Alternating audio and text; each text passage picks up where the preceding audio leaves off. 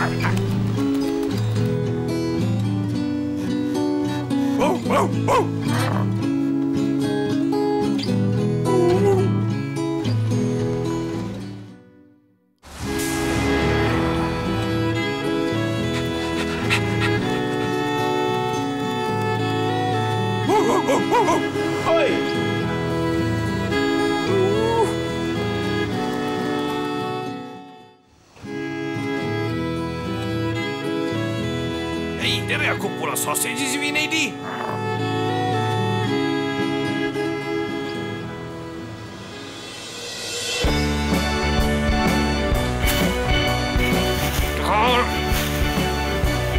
Ar boster, bathodyn neu wisg, pan welid i'r arwydd hwn, defnyddio'r Gymraeg.